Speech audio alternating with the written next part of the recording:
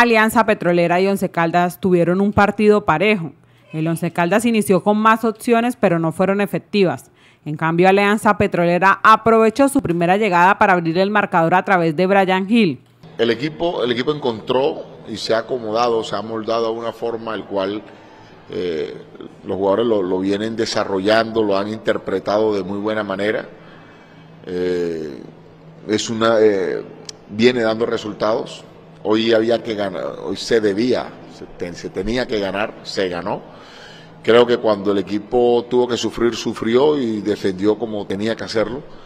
Y tuvo en su parte ofensiva oleadas de ataques importantes, por momentos tuvo un buen manejo de pelota, utilizó bien los espacios y aprovechó, aprovechó lo que Once Caldas sabíamos nosotros que podía darnos. En la segunda mitad, el Blanco Blanco reaccionó y quiso igualar el marcador.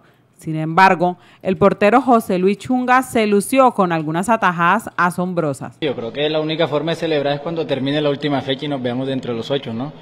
Creo que los 29 puntos, como menciona el profe, hoy son muy importantes. Sabíamos la obligación que teníamos en casa de, hacernos a la victoria y, y tener ese puntaje gracias a Dios se consiguió y bueno, ahora falta contra Millonarios poder sellar esa permanencia en los ocho que nos dé la oportunidad de, poder estar en los cuadrangulares. Al final los aurinegros supieron aguantar y liquidaron el partido con un tanto de Rubén Manjarres en los últimos instantes del juego.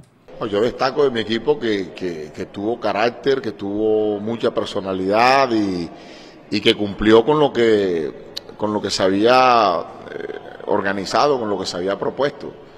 Eh, ellos hoy están muy claros en lo, que, se quiere y cómo, y cómo conseguirlo. Así que eh, yo sí extiendo las felicitaciones y, y resalto mucho el trabajo que han hecho los muchachos en el terreno de juego. Los dirigidos por Boder consiguieron un resultado que los deja muy bien parados para asegurar la clasificación a los ocho.